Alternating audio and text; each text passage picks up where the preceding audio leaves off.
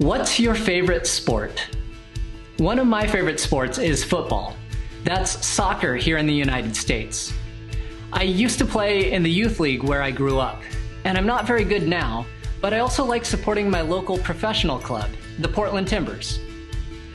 I don't know what your favorite sport is, but there's a good chance that it's a team sport. Nearly all of the world's most popular sports are played by a team. And when it comes to our technology, that's a team sport too. You need developers and operations engineers, QA testers, and product all working together to be successful.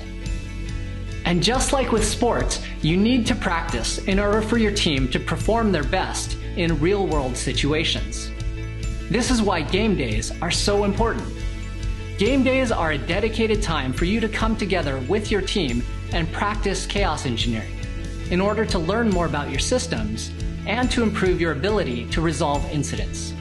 The Gremlin team has put together a lot of resources based on our experiences running game days and best practices from across the industry. These resources will make it easier for you to run game days. I'm excited for your team to embrace game days because together we can all build a more reliable internet.